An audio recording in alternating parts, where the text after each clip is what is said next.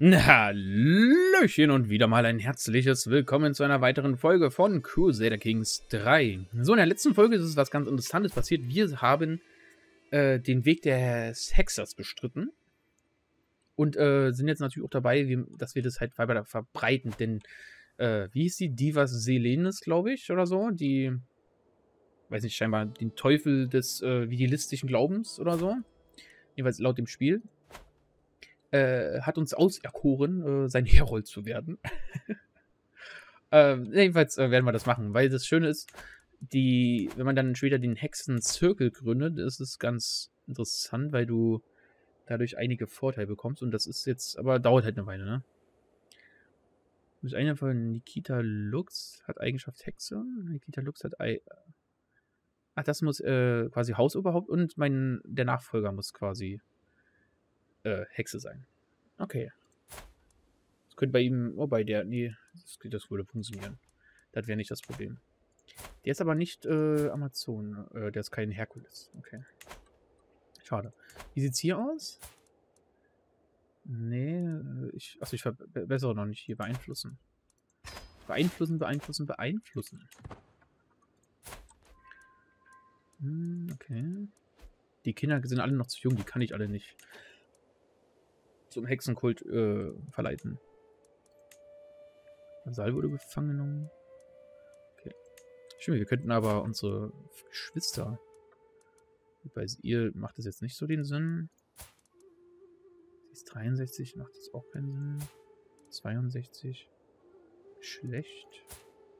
Schlecht. Also sind, unsere Geschwister sind, sind nicht alle in gutem Zustand. Ich bin der Jüngste. Ja, Ehalux. Ah, religiöser äh, Eiferer, das wird eh nichts. Ja, 5% Wahrscheinlichkeit. Naja, religiöse Eiferer. U unglaubliche Leute. Hm, aber ich könnte Enkel und sowas machen, ne? Könnte die Kinder der Kinder Kinder machen. Unser Neffe zum Beispiel. Hier wird ein neues persönliches Komplott geschmiedet, wie das komplett aufgegeben wird. Achso. Ne, wir machen erstmal das Komplott hier mit unserem Onkel. Es steigt immer weiter. Ein Stift entdeckt. Mein Ratschluss ist nur sorgen, dass neue Neuigkeiten zu mir kommen. Mein Vasall Oberbling Aulamp schmiedet Ränke, das Opfer mich. Okay. Das ist nicht so schön. Architekt, er ist Konkubinenkind. Hat mit meiner Lebenslinie aber nichts zu tun. Was für ein dreister Unhold. Er hält 10 Schrecken deswegen. Okay. Okay, er verliert, äh, ihr verliert 100 Meinung von ihm. Und wir haben Einkerbungsgrund. Äh, hat versucht, mich zu ermorden auch noch. Einkerkern? 47 Prozent. hm. Der hat aber auch einen guten Rängespielwert, ne? So einen besseren als ich. So, wir lassen es erstmal dabei. Pula wird belagert. Wo ist Pula? Da. Oh, da hat jemand den Thronerspruch aufgegeben. Sehr schön. So. Wir werden hier die Armeen mal halbieren.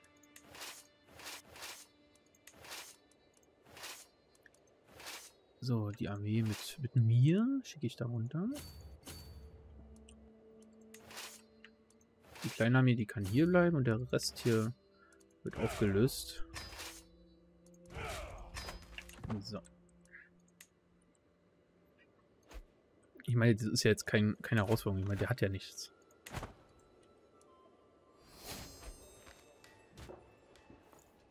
Oh, das ging mal schnell.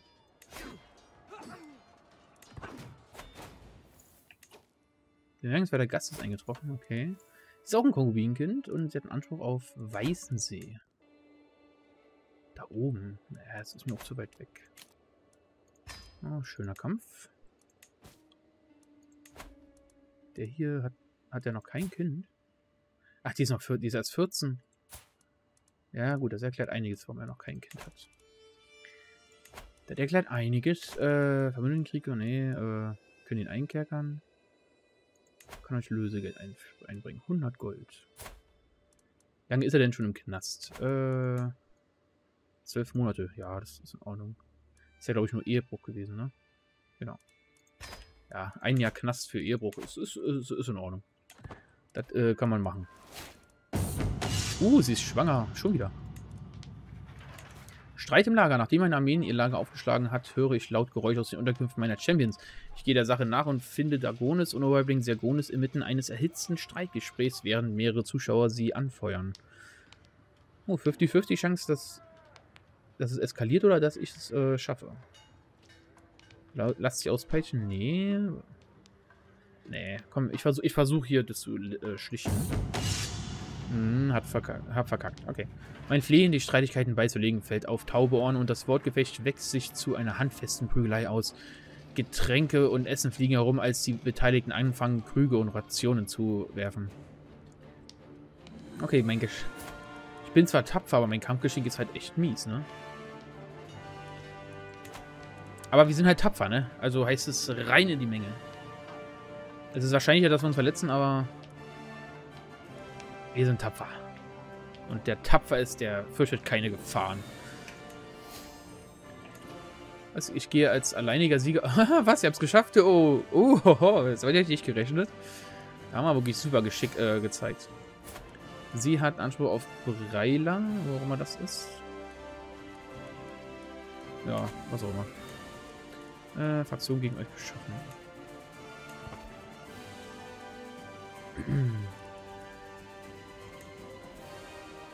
Aufgabe beendet. Niederschlesien hat die Aufgabe mehr Kontrolle Gemeinde. Ah.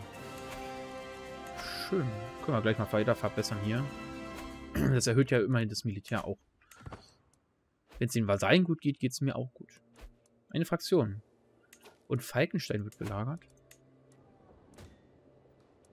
Der Gerade Jerusalem, was ist los mit euch? Rücken wir jetzt einfach mal aus und wir gewinnen auch das locker. Oh, 100%. Und mein Sohn Glande. Glande Diaz. er ist Herkules sogar. Das sind auch gute, so gute Werte.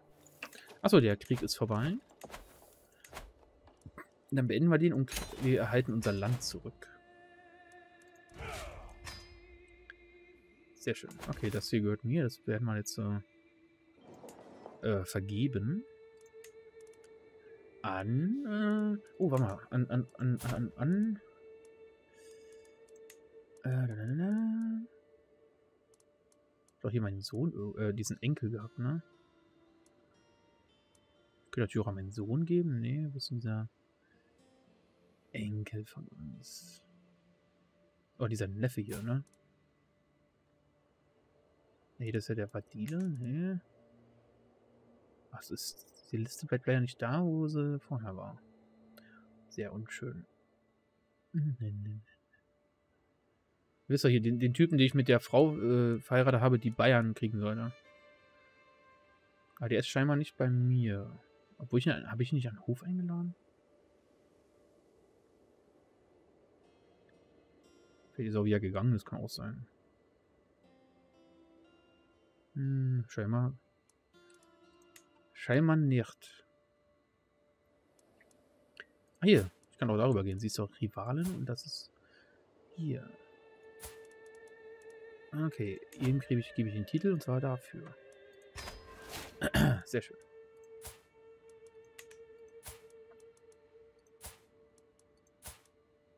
Sehr schön. Okay, da hat er wenigstens einen Titel.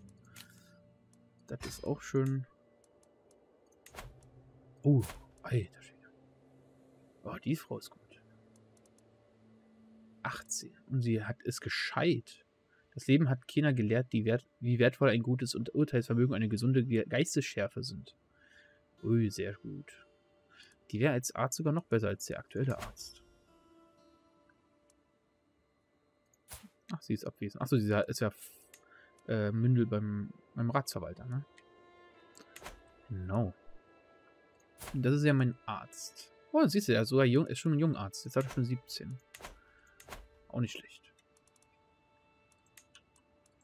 Ist doch auch in Ordnung so. Kann man, kann man machen. So, was haben wir hier? Hm, Druckmittel ist verfallen. Okay.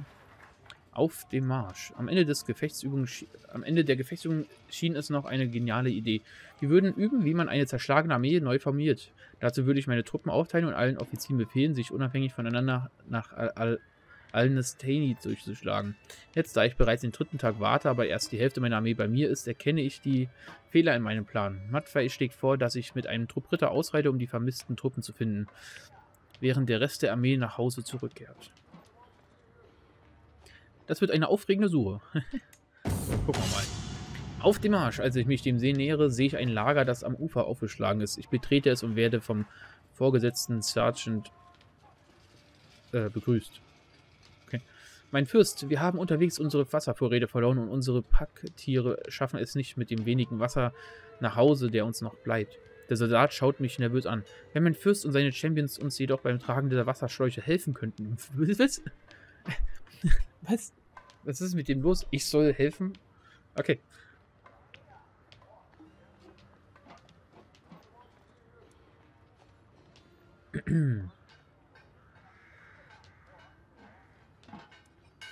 Glaube, glauben diese Gemeinden, dass Wasser wichtiger ist als meine Befehle?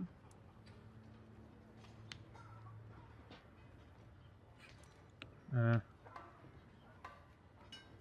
Ja, passt das uns? Wir sind treuherzig, wir sind tapfer, also. Ja, komm. Meine, ich und meine Männer helfen natürlich. Das ist schließlich meine Armee. Auf dem Marsch. Ich höre einen ungeheuren Lärm aus einer Taverne am Straßenrand, als einer meiner Champions die Tür eintritt und einen äh, Schankraum voll mit meinen verschwundenen Soldaten enthüllt. Als ich den Raum betrete, schauen sie wortlos in ihre Krüge. Der Eigentümer sieht mich böse an. Ihr seid also verantwortlich für diesen Sauhaufen? Alter, wie die alle mit dem Kön Hochkönig umgehen, ist, ist der Wahnsinn.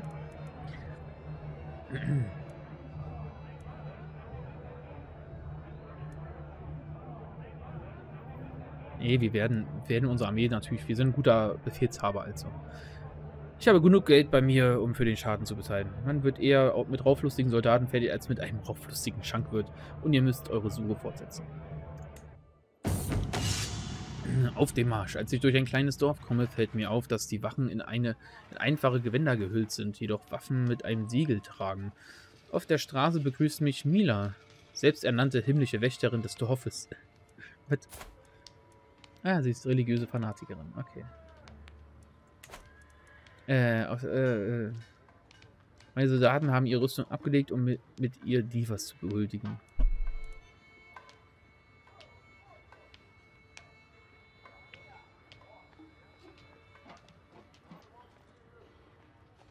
Ah, hier sind wir schließlich nicht alle auf eine, auf die eine oder andere Art Weise Diener von Divas Senelis. Ja, siehst du, das ist. Ich glaube, Senelis ist einfach der Nachname von, von der Gottheit Divas. Also wir sind ja so gesehen nicht, nicht böse, weil wir Hex, Hexerei betreiben. Wir, wir gehen bloß einen weiteren Weg für Divas Senelis. Oder so. Ach, keine Ahnung. Äh, warum sollte sie, warum sollte ich das wollen? Sie hat jetzt keinerlei Sie ist ja nicht gut. Das macht, bringt mir nichts.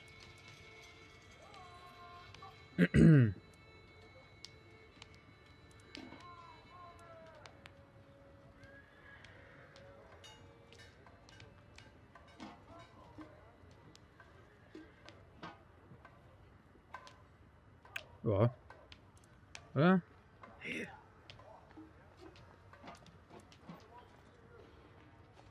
Allerdings, mit, sie ist halt eine Predigerin, ne? Aber sie hat halt keine guten Werte. Aber am Hof kann sie jetzt auch nichts machen. Sie ist, äh, ist, ist, ist eine Ränkespielerin, aber jetzt nichts Gutes, weil es, Ränkespiele passt ja auch nicht zum Glauben eigentlich, ne? Außerdem ist sie stur und arrogant und das, das steht ja auch da, Meinung vom Lehnsherr minus 5, Meinung vom Lehnsherr minus 5. Ey, die passt nicht vom Charakter zu ihm. Ich gebe euch einen Tag von diesem Ort zu fliehen, Zeloten. So. Und die Suche geht weiter. Oh, nochmal. Auf dem Marsch. Die letzten meiner Truppen haben es zurück nach Alnestin geschafft und die Ordnung ist wiederhergestellt. Obwohl dies kaum eine zur Schaustellung militärischen Genies war, habe ich neues Wissen erlangt über meine Armee und die Soldaten, aus denen sie besteht. Und dann war es ja doch eine nützliche Übung. Und wir kriegen einen Kriegsführungsvorteil, nicht? Den nutzen wir auch gleich mal und Oh, Überfallkommandos. Oh, nicht schlecht. Schweres, Feu äh, schweres Fußvolk, Speerträger und Bogenschützen kriegen Vorteile. Und Rückzugsverluste minus 25%. Auch nicht schlecht. Überfalltempo und Versorgungskapazität ist auch eine gute Sache. Vor allem die Versorgungskapazität. Hm, das sind beides gute Vorteile. Ich nehme aber erstmal das Überfallkommando. Außerdem habe ich ja hier, äh, haben wir eh bald wieder einen neuen Vorteil. Schön, bemerkenswerter Gast. Ihr gläubiger Diener der höchsten Mächt macht, je mehr unser Orden mit Namen der Himmelswächter wächst, desto mehr Land brauchen wir, von dem aus wir unsere Verteidigung des idealistischen Glaubens in Angriff nehmen können. Statt, statt von Gifhorn ist für unsere Zwecke bestens geeignet und wir würden uns gern, würden es gerne pachten, um es in den Diensten unserer Sache zu stellen. Ja, soll euch gehören. Ist schon in Ordnung. Wie sieht denn aus? Oh, hier. Ah, jetzt geht's. Wir können ihn jetzt vasalisieren. Wird Vasall von euch. Ja, super. Seid gegrüßt, mein Lehnsherr. Ich nehme euer großzügiges Angebot des Vasallentums an, mein Lehnsherr. Ja, nice. Das gefällt mir. Bekanntschaft wurde gefangen genommen. Neuer Krieg. Herzog Trud von Angria. Ihr seid das neue Kriegsziel. Uhu. Angria. Das kleine Ding greift mich an.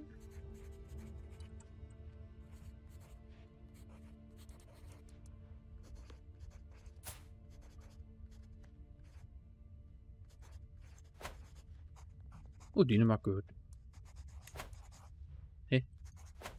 Wir haben jetzt noch Dänemark erobert? War das schon alles vor, war das, war das vorher auch schon unseres?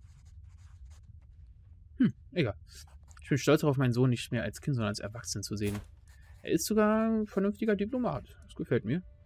Dank eines hervorragenden Verständnisses aller Arten von Etiketten, der Vertrautheit mit allen Formen der Unterhaltung und einer dazu passenden Eloquenz dürfte er das Leben am Hof spielend meistern.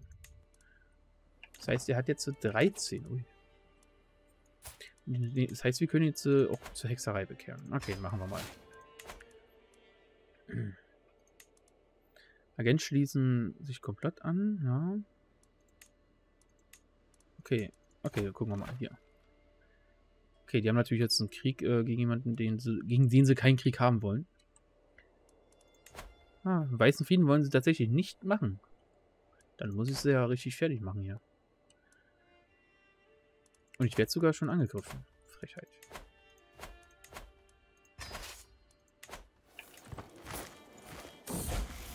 Unwürdige Bauern. Während ich mit Gerdautas im Städtchen war, fiel mir ihm ein Verbrecher auf, der an den Pranger gekettet war. Äh, achso. Äh, Gerdautas hob den Kopf und machte allen deutlich, dass ihnen, dass ihnen, was, dass ihnen er das Flehen des Verbrechens nach Wasser nicht scherte. Er ist arrogant, okay. Hm. Arrogant bringt ihm Prestige, aber sonst nur Nachteile. Und er jetzt. Ja. Ach, dann soll er halt arrogant sein. Gut, weist ihnen seine Schranken. Bremen wird belagert. Frechheit. Das ist ja richtig schlecht. Oh, Kriegsführungsvorzug haben wir. Gucken uns gleich mal an. Äh, erstmal hier. Wir haben 100 Mann verloren. Okay. Den Vorzug. Da werden wir jetzt die Versorgung im Feld übernehmen. Sehr schön. Und dann äh, Erbe ist nicht vermählt. Okay. Mal gucken. Er ist äh, robust. Werden wir natürlich mal gucken. Können wir ihn auch mit einer aus unserer Dynastie vermählen? Könnte man theoretisch machen. Es denn mit unserem Glauben da um, um Vettern-Ehe und sowas? Äh, ne, ne, ne. Haltung zum Insitz, Vettern-Nähe. Ehen zwischen Cousins sind erlaubt, Beischaft zwischen Cousins sorgt nicht für das Inzestgeheimnis. Ähm. Ja gut, ist die Frage, ist jetzt... Äh ne, das hier wäre sogar in Ordnung, ne? Okay, ähm... Haben wir vielleicht jemanden mit einem guten Trade? Kraftlos, na, das ist nicht so... Oh, Alter, minus 6 auf Kampfgeschick. Okay, äh, wir sollten noch mal gucken, hier jemanden, der auch vom Alter her einigermaßen hinkommt. Milan Lux ist am ältesten. Oh, hübsch. Ein religiöser Eiferer. Hm. Sie ist fleißig, zufrieden und treuherzig. Das könnten wir tatsächlich machen hier. Mal so ein äh, Heirat innerhalb der Familie ist ja prinzipiell auch nicht, nicht verwerflich. Ne? Außerdem ist in der, unserer äh, äh, Glaubensdoktrin ist es ja auch vollkommen in Ordnung. Weil sie ist, glaube ich, guck mal, hier Häuptling vom, äh, Tochter von Häuptling Prusas. Und ihr Ehemann ist gestorben. Und der war 58. Alter. Ist ja pervers. Ist ja, ist ja, genau, ist ja schon schlimmer, als wenn man äh, so eine entfernte, entfernte Verwandtschaft heiratet. So, äh, greift man hier mal an. Der kann da angreifen. Das ist ja unser Feind hier komplett, ne? Genau. Was ist hier die Stadt? Ach, da. Da kann jemand hin. Da kann jemand hin. Da kann jemand hin. Die gehen mal zusammen und Maschinen erstmal dahin. Ein, ein unversöhnlicher Oktober als gern nehme ich die vorgeschlagene Heirat an. Gern soll euer Sohn und Erbe Nikita den heiligen Bund der Ehe mit mir eingehen. Okay, sehr schön. So, wir können wieder was bauen. Das machen wir gleich mal. Äh, einfache Palisaden, ja. Kann ich hier noch erweitern? Ja. Stimmesfest ist auf Stufe 3, ist das schon Maximum. Hier noch die Palisaden weiter hoch. Chelmno Langhäuser. Eines Teen hat nichts und hier wir auch nicht. Oh, hier kann ich sogar erweitern. Von Stammesfeste auf ausgebaute Stammesfeste. Machen wir doch gerne. Hier geht nichts. Die ausgebaute Stammesfeste nimmt sich feudale Bogen zum Vorbild und fügt dem Vorgänger viele neue Verteilungselemente hinzu. Nicht? So, gucken wir mal. Äh, wir haben einen Kampf gewonnen und haben keine Verluste erlitten. Sehr schön. Ah, jetzt ist hier unsere Hauptarmee. Ja, die führen anscheinend auch Krieg gegen Anglia. Ist mir relativ egal. Die werden wir jetzt einfach mal weg, wegrotzen hier. Weg mit denen. Braucht keiner. Naja, Kriegerorden angeworben. Okay, Lodeburg wird belagert. Wo ist das denn schon wieder? Da. Okay, mit, mit denen habe ich doch nicht mal Krieg, witzigerweise.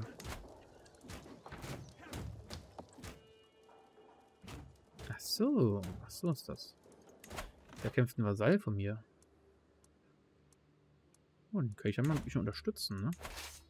Dann halbieren wir mal die Armee hier. Unser König unterstützt hier.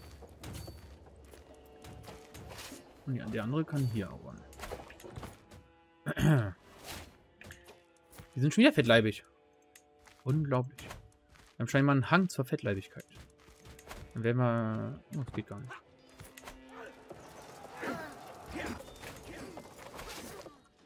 Haben wir hier noch irgendwie Armeen?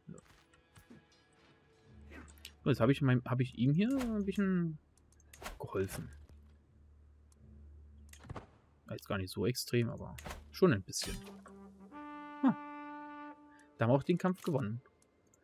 Ja, nice. Ja, nice. Das geht doch super. Wunderbar. 94% durch Schlachten. Alter Schwede. Okay, ist ja auch nur ein Verteilungskrieg gewesen, ne? Ja, erobern ja nichts. An den hysterischen Hochkönig Octune von euren Missetaten erzählt man sich von Irland bis China. Ja, kann machbar, möglich sein. So, Alter, wir verlieren so viel Land. Okay, der hier immer noch. Ist sie immer noch nicht schwanger hier? Jetzt können sie rumpippern, die 16.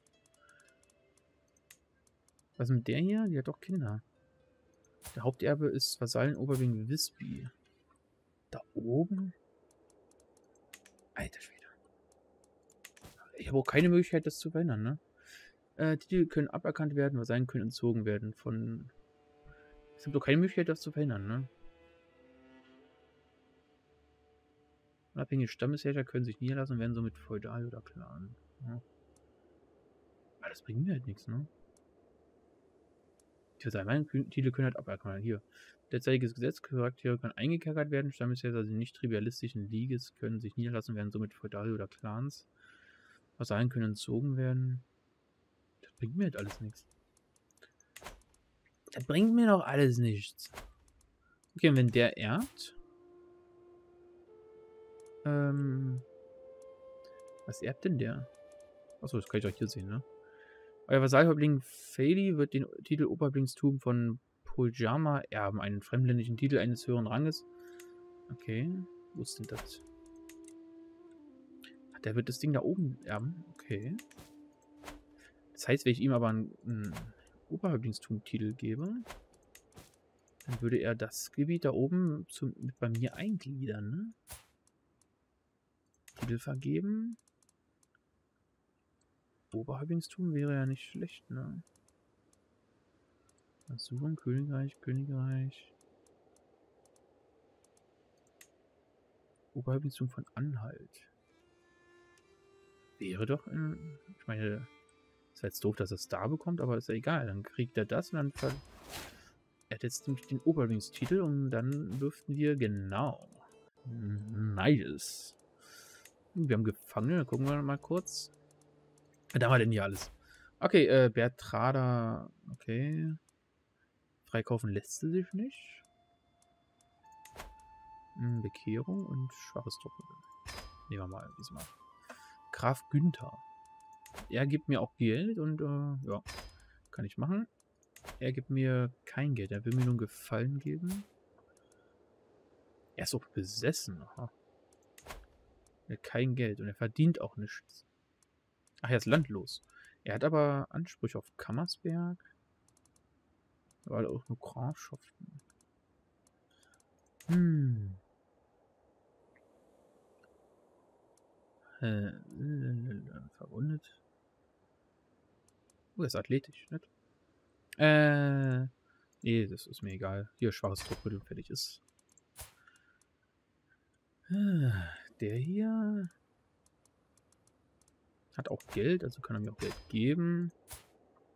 Der hier hat kein Geld. Ibadistisch, okay. Er ist ein legendärer Schwertmeister. Aber er ist auch alt. Ja, er soll, die, seine, er soll seine äh, letzten Tage in Freiheit genießen. Und dann haben wir ihn hier, den ich leider nicht äh, rekrutieren kann, ärgerlicherweise. Und er hat auch kein Geld, um es mir zu geben.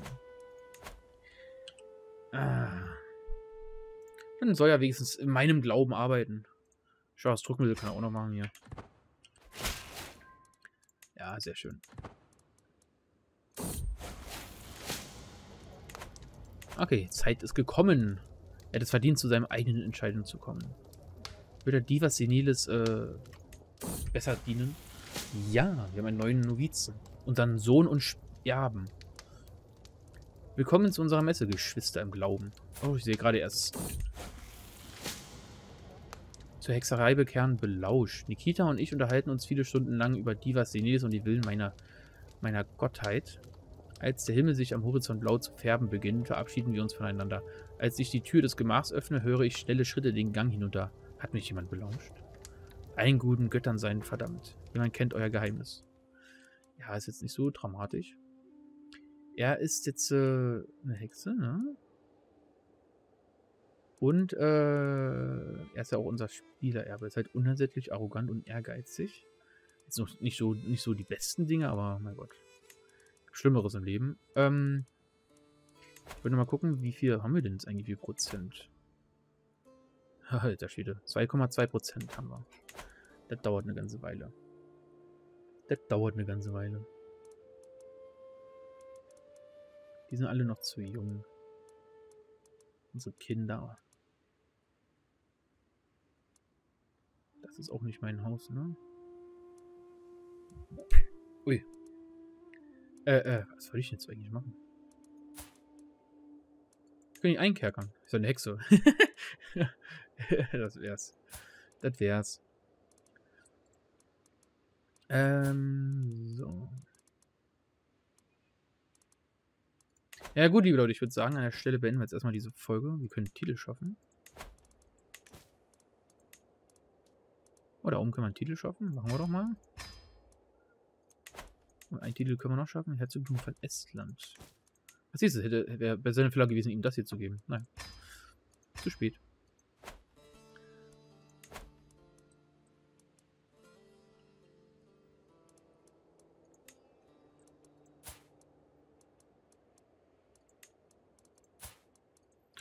Du, also dann, wie gesagt, liebe Leute, ich hoffe, euch hat diese Folge gefallen und dann sehen wir uns beim nächsten Mal wieder. Also bis denne, cheerio!